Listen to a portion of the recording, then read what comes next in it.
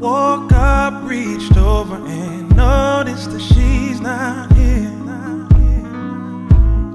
If last night was a dream, then life is so unfair. I dug my head in the pillow and suddenly smelled her hair.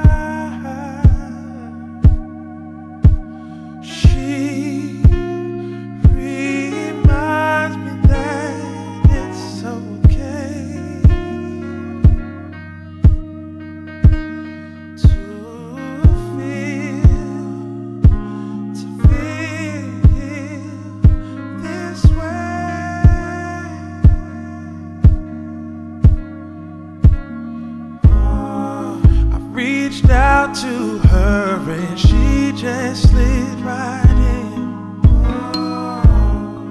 The only thing I could ever want is that this never